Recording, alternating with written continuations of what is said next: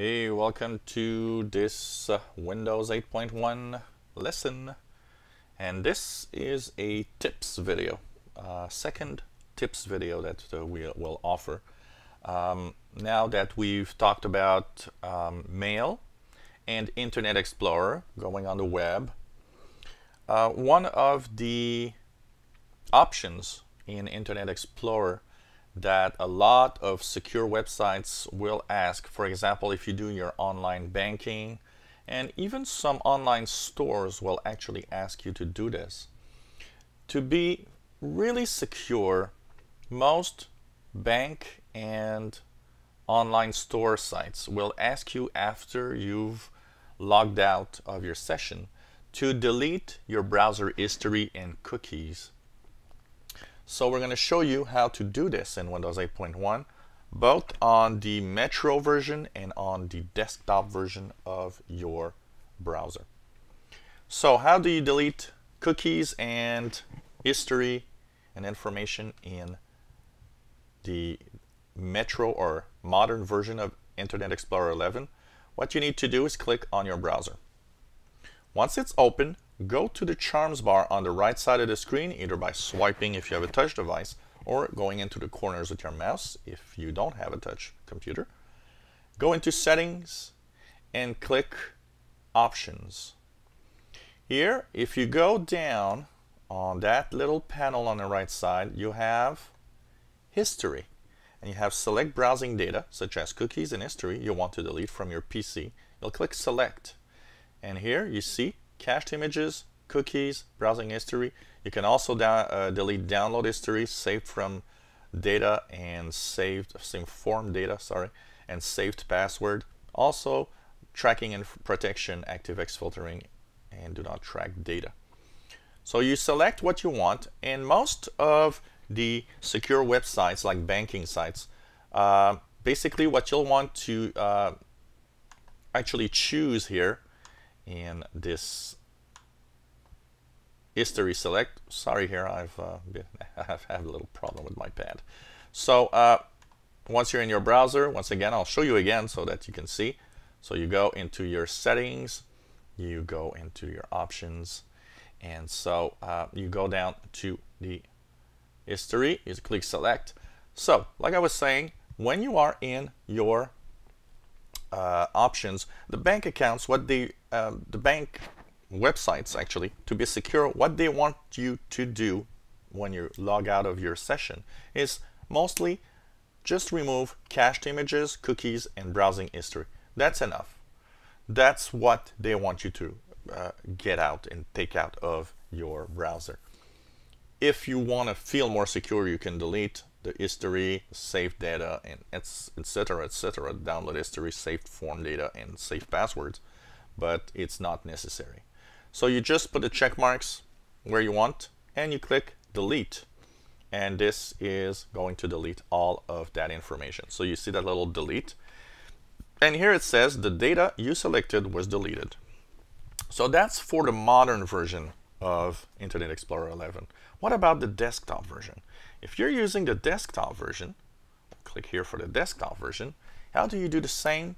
Simple. All you have to do is go into your little pinwheel or the tools on the upper right side of your screen, just below the red X.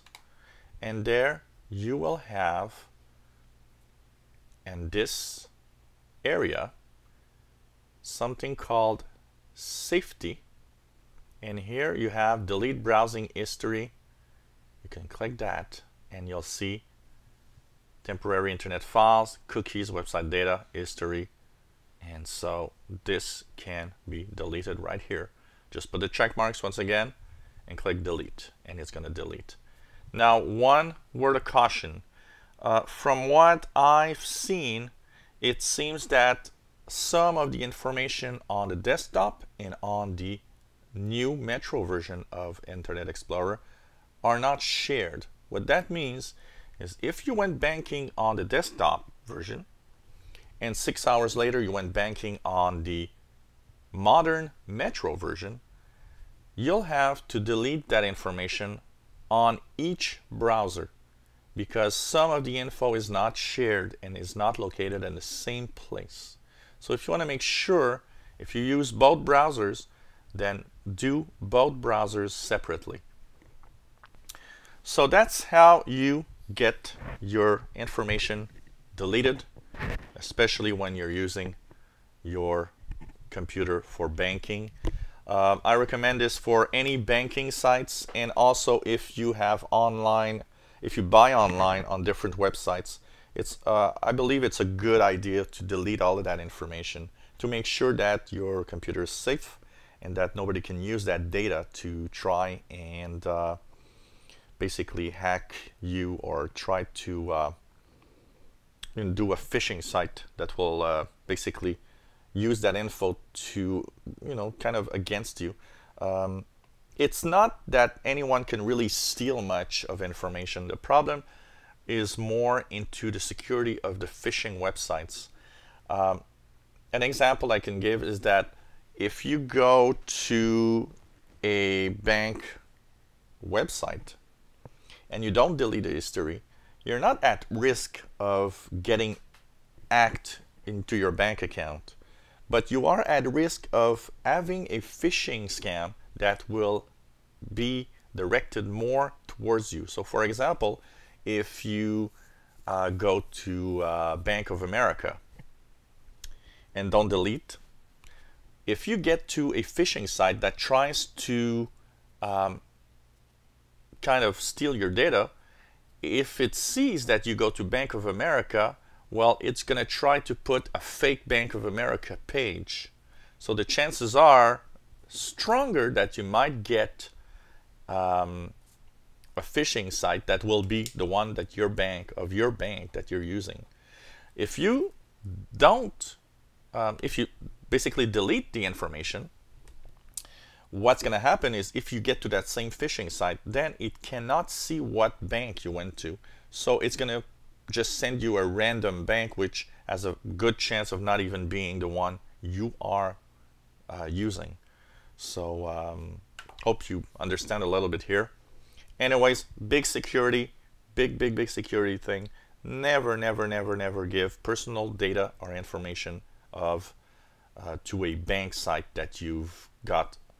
Uh, if you have some kind of problem or if they say that they need you need to uh, give them a password or anything, then what you need to do is call your bank and deal directly on the phone with them or go to your uh, branch office and go directly in person and deal with them in person. Never give out any personal data over the internet.